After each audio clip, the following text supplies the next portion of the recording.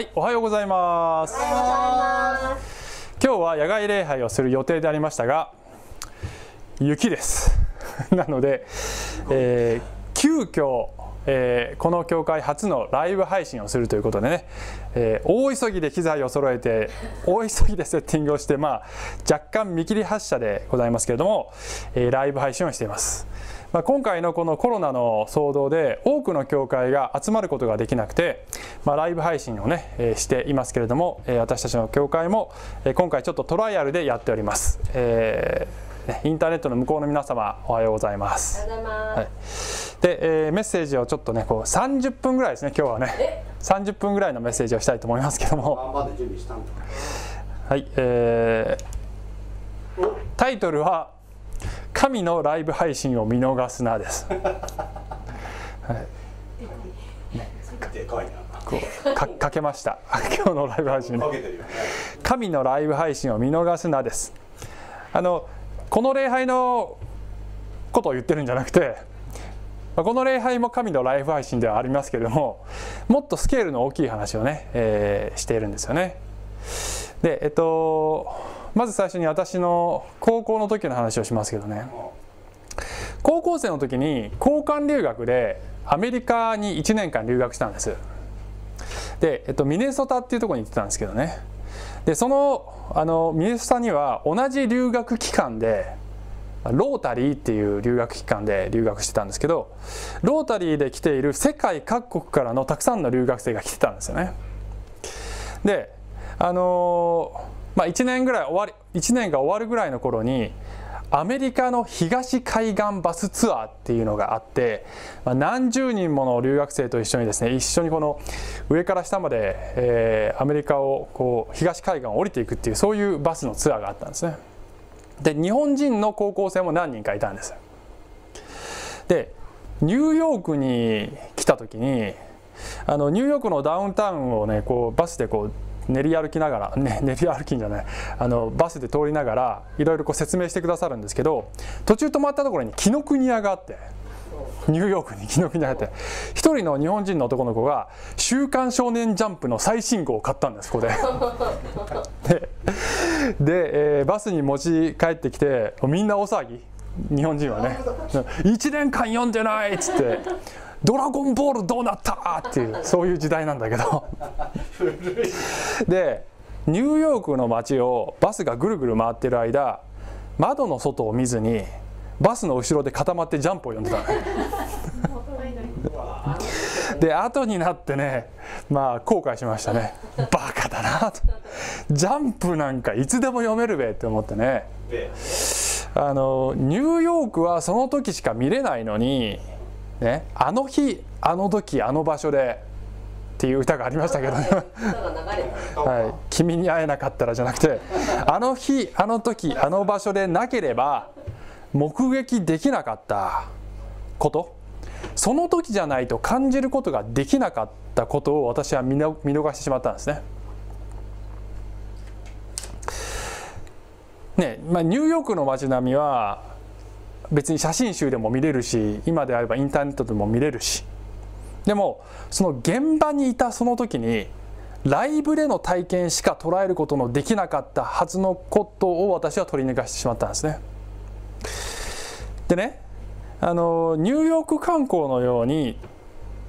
楽しい旅でその貴重な瞬間を見逃さないっていうのはねやっぱ重要だなと思うんですけどしかしながらもっと重要なことは嵐の中を過ぎ去っていくような通り過ぎていくようなそういう旅、まあ、そういう旅も人生にあります。ね、そういう旅でその瞬間何が起こっているかを見逃さないことはもっと大切なんですね。なぜかというと楽しい瞬間よりも大切なことがその瞬間起きてるからです。大変な時の方がもっと多くのことが起き起きてるんですね。ところがねあのその瞬間を捉えるっていうのは非常に難しいんですねなぜかというと大変であればあるほど、えーもう目をつぶって早く過ぎ去れと念じるだけで精一杯という状態に私たちはなるからですね、えーしかしそういう時こそしっかりと眼を開いて、えー、見定めなければいけないと思うんですよね。で皆さんご存知のように今世界は、まあ、大変な歴史の転換点に、えー、いますよね、えー、コロナの問題で、えー、大変です。で私たちは歴史の証人となろうとしている。ニュースを見れば、まあ、表面的には何が起こっているかっていうのはもちろん分かる。しかしながらクリスチャンとしてはですねあの表面的に何が起こっているかということを把握するだけではなくて神様は今何をしておられるのだろうと考えなければいけないと思うんですね。あの後になってから意味を考えるっていうのはもちろんそれは大切なんですけどあのその日その時その場所でしか捉えられないものをしっかりと捉えるっていうねことが大切だと思うんですね。もちろん苦しんでる人とか亡くなってる人がたくさんいるのでおもし面白おかしい旅ではありませんこれは。しかしながらもしこの状況で神様が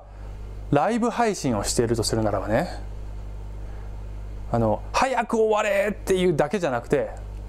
もちろん早く終わるように祈るんですよ一生懸命祈るんですけどただそれだけじゃなくて神が何をしておられるのか何を求めているのかそして何をあぶり出そうとしているのかを興味を持って注視したいと思うんですよね。そしてそれを体感していきたい。そうでなくてはもったいないんじゃないかなと思うんですよね、さあ今日は、えー、3つのことを話したいと思います。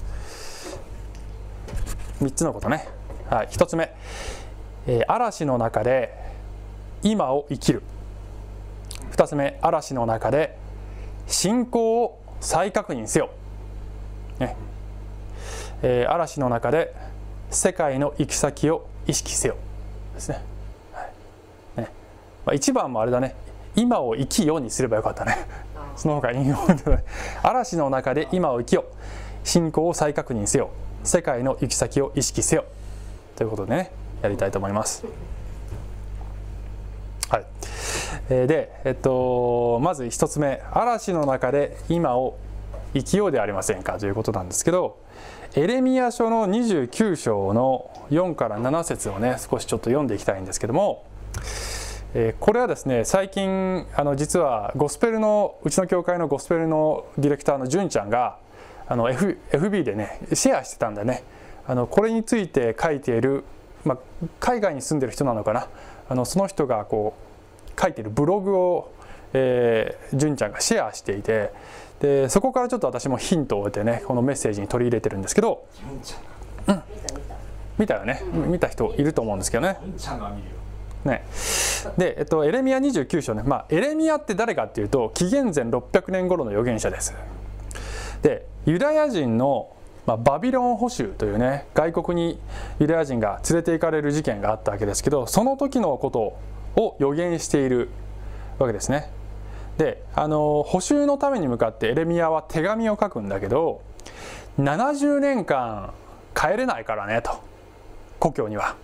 だからしっかり腰を据えて生活を営めというそういう話をこうですね彼はするわけですけど4節ね、読みます。イスラエルの神万軍の主はこう言われる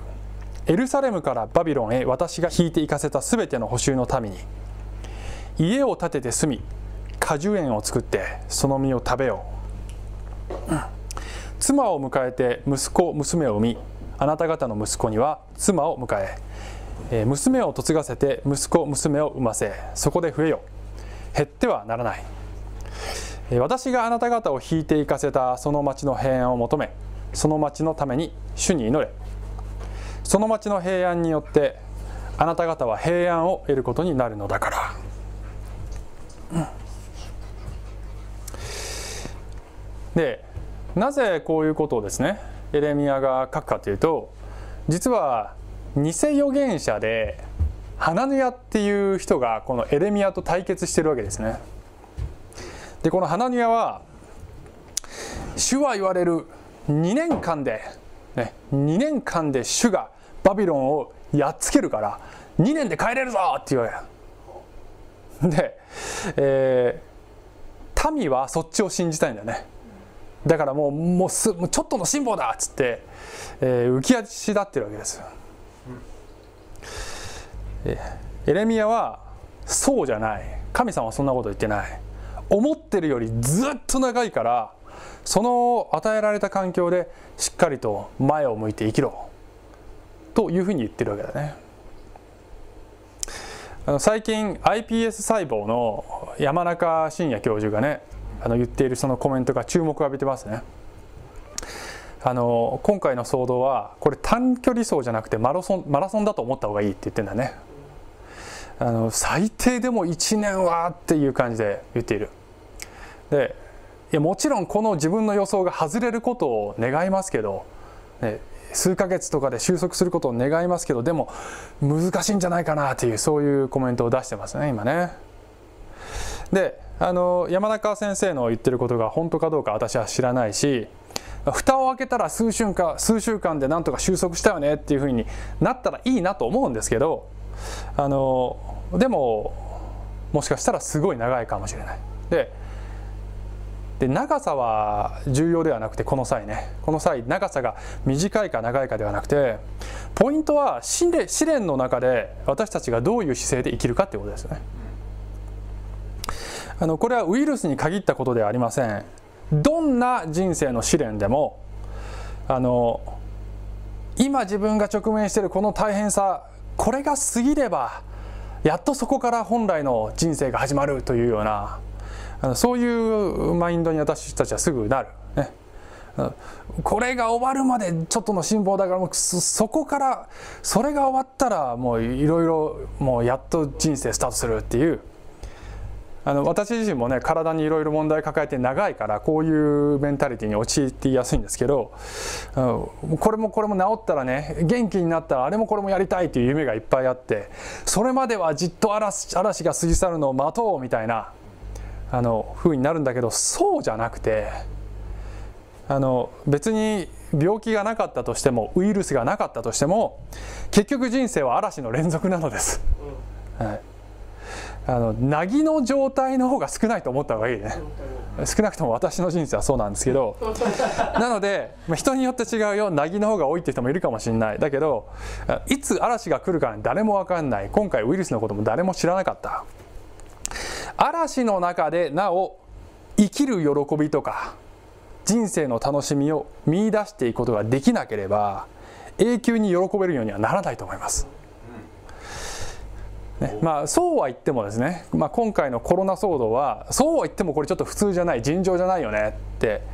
まあ、確かにそうなんですけどあのこういう時だからこそ逆に発見できる大切なものってねやっぱりあると思うんですよね。まあ、それは人によっては家族の絆だったりあるいはねこうこういう事態だからやっと働き方改革ができたという人もいるかもしれないし、まあ、人によって違うかもしれない。嵐の中でこそ見つけられる人生の輝きみたいなものがきっとあると思います。人それぞれ。そしてこういう中でも私たちはユーモアを失わ失わない。笑いを失わない。思いやりを失わないっていうそういう姿勢がね、えー、大切じゃないかなと思うんですよね、えー、嵐の中でもね、それが終わったら人生が始まるのではない。それが人生だっていう。嵐の中のその状態があなたの人生だ。だからその中で輝きを見つけていく。それができるのは私たちが神様を知っているからです。全てを治めておられる神を知っておられるからそれができる。それが1つ目。はい2つ目。ねえー、2つ目は嵐の中で信仰を再確認せよ。ですね。ヘブル人への手紙をちょっと読みたいと思いますけどもね、えー、12章。ね12章。26節と27節。あちょっと待ってね。26節を先に読もうかな、えー、あの時は御声が地を揺り動かしまし揺り動かしましたが今はこう約束しておられます。もう一度私は地だけではなく天も揺り動かす、えー、ヘブル書の対象の読者は、えー、ユダヤ人でイエス様を信じてクリスチャンになった人、まあ、メシアニック・ジューと言いますけどその第一世代の子供たち第二世代のえメシアニック・ジューそのでその彼らがこのクリスチャンとして歩む中で迫害に耐えかねてもうクリスチャンやめてユダヤ教に戻ろうかなっていうそういう動きがあるっていう。で彼らに向かっていやいやあの古い教えに戻ってもね全然いいことない。意味ない。からしっかりとこのイエス様に、えー、対する信仰を守れ。そこにとどまれというそういう叱咤激励をしている人なんですよね。でここで「あの時は」って出てるのはどの時かというと、えー、モーセがシナイ山で立法を受け取った時の話をしてるね。これ出エジプト記19章。でその時に地が揺れ動いたでしょっていう。であのもう一度私は地だけではなく天も揺り動かすというこの予言はこれは破壊書の2章にあるんですけどこれは、えー、厳密に言うとキリストがやがて再臨するその直前にこの世界が大観難時時代に、ね、大変な、えー、時代に入る。その時代にあの大変なことになるからねっていうその予言なんだね。で、えっと、ヘブル書の著者はちょっとややこしいんだけどねその破壊書の予言を引用しながら何を指してるかっていうと彼が言ってるのは紀元70年にエルサレムが崩壊するであろうことを、ま、警告してる。それをほのめかしてるね。紀元70年って言ってないけどでちなみにこの書が書かれているのは紀元65年ぐらいなのでもう5年後ぐらいには神様が、えー、裁きを下すよユダヤ人がイエスを拒否したその罪ゆえの裁きが下るよということをほのめかしているわけです。わかる？この構造。つまりねここに神様のなさることのパターンがあるっていう話なんですよでそのパターンとは何かっていうとこの次の27節ここからなんだけどこの「もう一度」という言葉は揺り動かされないものが残るために揺り動かされるものすなわち作られたものが取り除かれることを示しています。っていうふうに言うんだけどあのつまりね本物が残るためにあるいはあなたが本物になるために神様はふるいにかけるよっていう。ペテルもそうだったし。あの本物をあぶり出すため。偽物をどっちのかな。偽物をあぶり出すためって言った方がいいかな。あの不純物を取り除くためにふるいにかけるよっていう。そういうことを神様されますよっていうことなんですよね。世界が通過している痛みあるいはあなたが個人的に通過している痛みはそれを通して何が簡単に揺らいでしまうものでそして何が絶対に揺らがない土台なのかということをあなたに気づかせるため世界に気づかせるためです。ですでにクリスチャンである人に対しては私たちが心の中に持っているその無意識のうちにも持ってしまっているような偶像を打ち砕いて不純物をあぶり出して神様があなたを鍛えようとしていると考えるべきだね。信仰が後退している人に対してはこのヘブル書の対象の読者のようにねもしかしたらあなたはもうクリスチャンだけどね、こうクリスチャンになる前の方がなんか心地よかったなっていう。そういうふうにもしかしたらあなたはなってるかもしれない。前に戻りたいなって思ってる人に対しては神様は揺り動かすことでおい戻ってこい違うそっちじゃない。戻ってこい。こっちが本物だというメッセージを送ってるかもしれない、えー、C.S. ルイスのね C.S. ルイスっていうのは、えー、ナルニア国物語の著者ですけどもね有名な神学者ですよね。見えますかね。あの有名な彼の言葉でこういう言葉があるんですね、まあ、英語も英語なんですけどもともとは。訳すとこうですよね、えー、すいません。神は我々の楽しみの中でささやかれ我々の良心に語られる。しかし我々の痛みの中で叫ばれる。痛みは耳が不自由な世界の人々を覚醒させるメガホンである。という言葉ある。これはあの牧師がよく引用する。今多分これを引用してる牧師が多いと思うんですけど。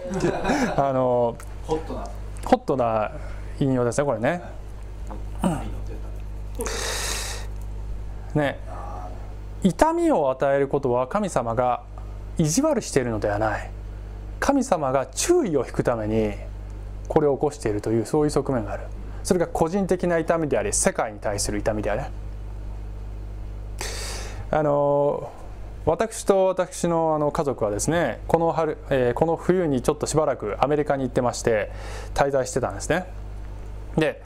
えっと、アメリカから帰ってくるとですね私たちが住んでいる同じアパートの同じビルに、えー、この教会の愛すべき夫妻である大串夫妻が引っ越してきてたんですよね。名前出してもいいって聞いたから名前出してるんだけど。はい、一応。で、ね、大串夫妻がね同じアパートのあのね私たちは5階建ての一番てっぺんの5階に住んでるんですけど彼らは4階なんですけどね。あの私たちの隣の部屋のすぐ真下に引っ越してきた。だからすぐ斜め下この角でつながってるみたいなそういう関係になったわけですね。ね。で、えー、すぐもだからそこにいるっていう感じなんですけどでも彼らの家に行くためにはあの横に移動することができなくて別の階段なんだよね。だから私たち5階に住んでるから1回地上に降りてそれで別の階段で4階に上がんなきゃいけないっていう。だから行こうと思うと遠い。距離は近いけど行こうと思うと遠い。でアメリカから帰ってきた時にあのねあの私の妻がこう遊びに行ってさで奥様のねともかちゃんとこうずっと話話して戻ってこないわけ。なんかもう、ね、戻ってこない。ででアメリカから帰ったその片付けをね一緒にやってる途中なのに全然こう仕事なのに戻ってこないと。それで携帯に電話したら携帯家で鳴るみたいな。持っていけよみたいな感じでね。どうやってこれ注意を引こうかなと。戻ってこいっていうメッセージを送りたいんだけどもうそこまで行くのもすごい遠い。それで考えて家にあったなんか娘が遊んでいるこの型紙でできたこの1メートルぐらいのパイプがあってでそれに家にかそれに家にあった適当な紐を巻きつけてベランダからこう振り子のようにこう振り下ろしてで斜め下のベランダの中にこうガランって入れ入れたんだよね。でそこでガランガランガランガランガランってやったわけ。怖いよ。そしたらやっと2人ともさこう気づいてベランダに出てきてさ。で「あ戻ってこい!」ってやったからね。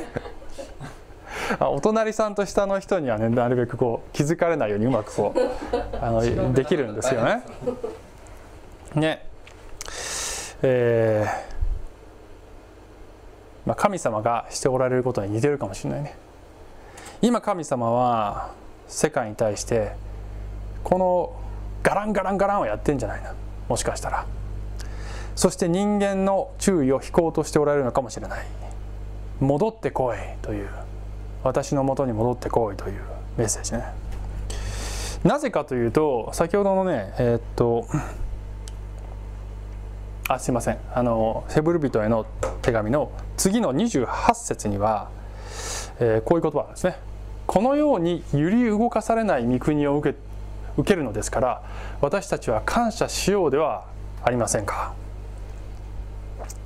世界が揺り動かされている時に本当に揺り動かされないものは何かということをあなたが気づくように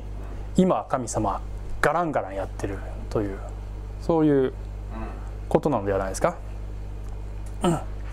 あのちなみに言うとですねこの大串家との関係性で言えば、えー、ちなみに昨日の出来事ですけどね 昨日は、えー、私がお昼ご飯食べた後にコーヒーを飲もうと思ってねコーヒーを入れたんだよね。でそして、えー、あの冷蔵庫開けたら牛乳がなかった。で私は牛乳がないとコーヒーが飲めないんです。で田舎だから、えー、牛乳1つゲットするのにも車5分ぐらい走らせないとゲットできない。で妻が車を使って子供たち連れてどっか行ってるっていう状態でで大串さんのご主人にね電話かけて「あの牛乳いただけませんか?」っつってやったわけだね。でもでも遠いなと思ってそしたら大串さんが「あのカゴを下ろしてくれたら入れますよ」って言うからあのそれをね大急ぎでやったんだけどその時の、ね、実は動画があってねちょっとそれね。うん？一回勝ちして、うん、いいやっても。まあ音はいいよ別に。どっちでも、えー、音出そうよ。音が欲しいそうです。音音。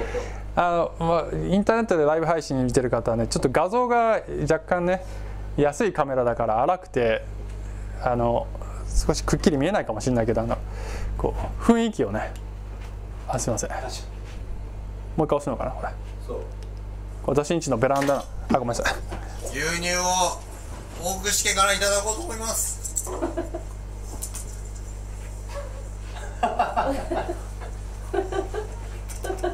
届けこの思い。え塩田さんもその時たまたまいたんだよね。で彼が動画撮ってるんだけど。苦しい。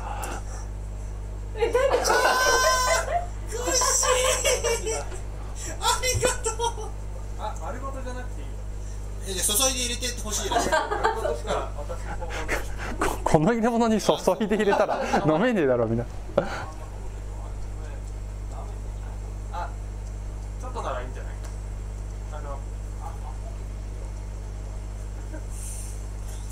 さあグッシーが知恵を使って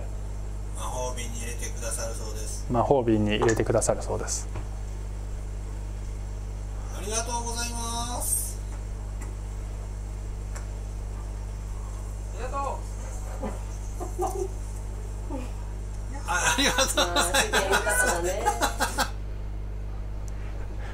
これが昨日の事件でしたね。う 何やってんだ神様は、えー皆様の捧げ物を受け取りたいと思ってますね。しかし牛乳ではありません。神様はこの嵐の中でもあなたの賛美の捧げ物を求めていらっしゃいますね、えー先ほどの28節後半があるんですけどね、えー感謝しつつ経験と恐れを持って神に喜ばれる礼拝を捧げようではありませんか。嵐の中であなたがもう一度信仰を再確認して、えーさらにしっかりとイエス様につながるということのためにこの状況を用いてください。はい、えー3つ目。次があはいはい OK はいえー、ねね。はい3つ目。嵐の中で世界の行き先を意識せよですね。ルカによる福音書の13章の1から5を読みたいと思いますけども。はい。えー一節をねちょっと先に読みましょう。ちょうどその時人々が何人かやってきてピラトがガリラヤ人たちの血をガリラヤ人たちが捧げる生贄に混ぜたとイエスに報告した。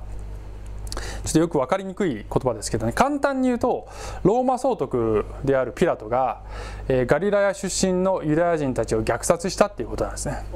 で、えー当時のこの民衆の間では因果応報の考え方があったので、まあ、彼らはねもう殺された人たちは相当悪いやつらなんだろうというそんな意識があったんですよね。でその彼らに対してイエス様が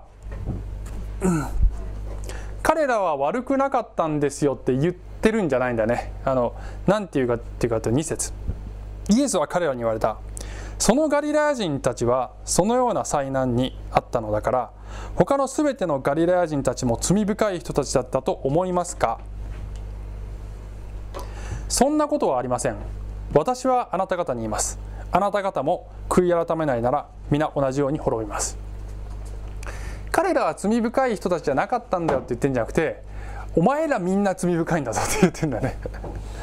でそれと同じパターンで4節と5節が続きます。またシロアムの塔が倒れて死んだあの18人は、えーこれはですねあの歴史の記録にはないんだけどもそういう悲惨な事件があったというふうに想定されますけど、えーエルサレムに住んでいる誰よりも多く、えー罪の負債があったと思いますか？そんなことはありません。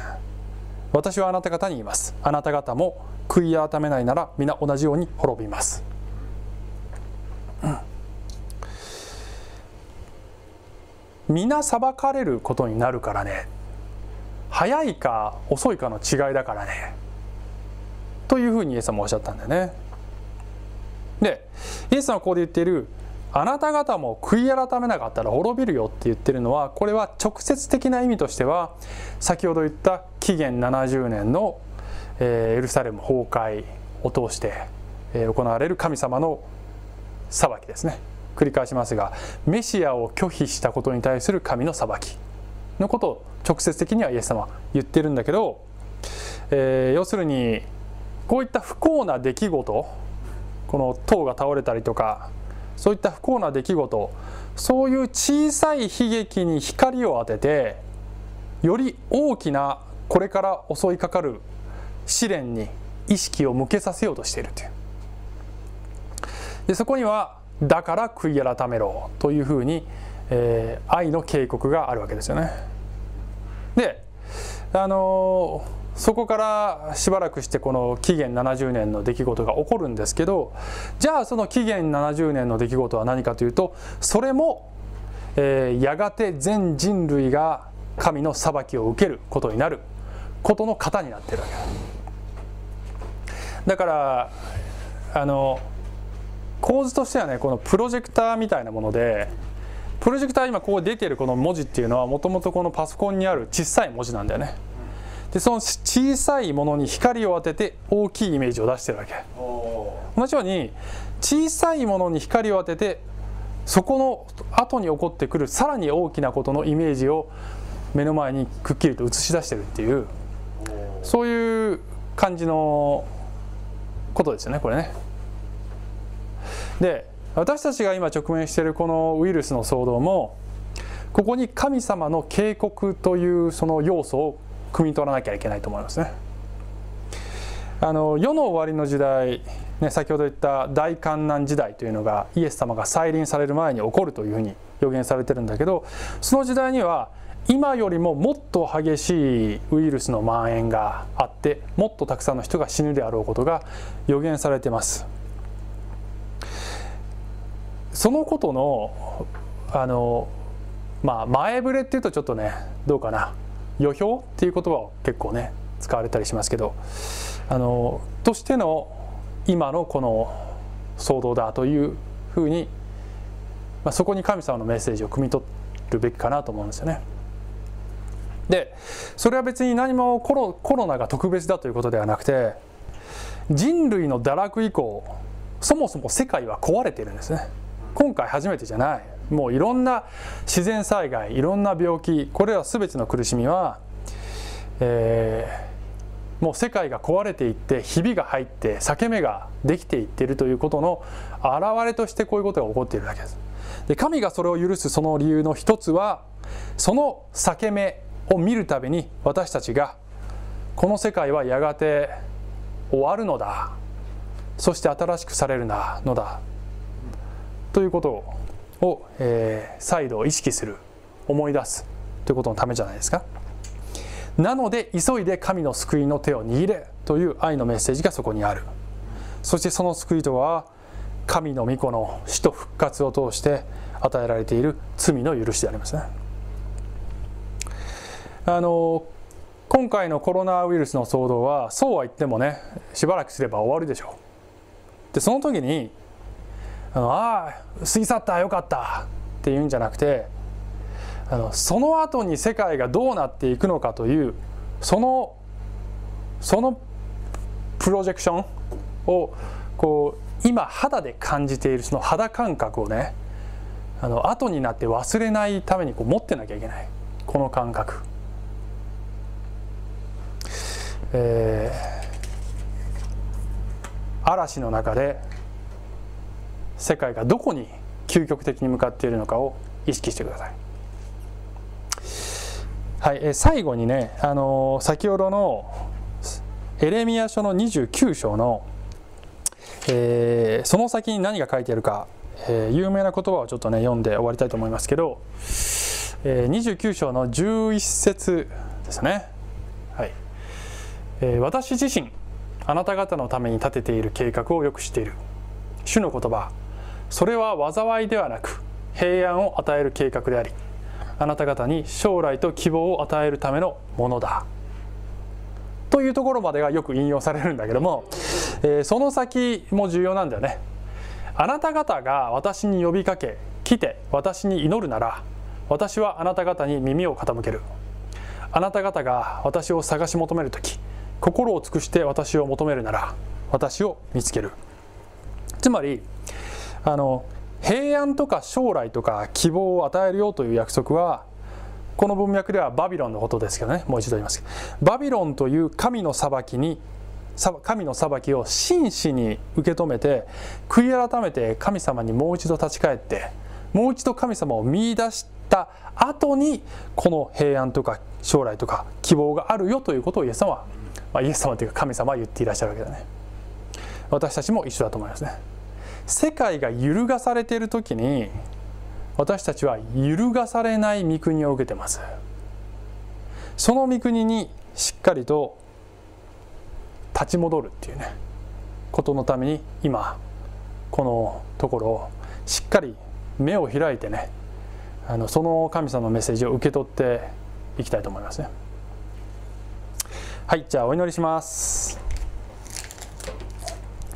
愛する天のお父さんありがとうございます。すべ、えー、てのことが神の栄光となりますように、えー、本当に傷んでいる人たちたくさんいます。亡くなっている人たくさんいます。どうぞ神の憐れみと、えー、神の慰めがありますように。どうぞ早くこの状況が収束しますように。しかしながら、えー、それがただ過ぎ去ってそれで終わりではなくて今神が語っておられることをしっかりとキャッチしていくそういう強さも私たちにお与えくださいますようにお願いします。イエス様のお名前によってお祈りします。アーメン。小淵沢オリーブ教会には聖書の言葉を多くの人に届けるためのさまざまなビジョンがあります。あなたもこの働きに参加してみませんか？献金はこちらのアドレスにて受け付けています。口座振込またはインターネット送金サービスに対応しています。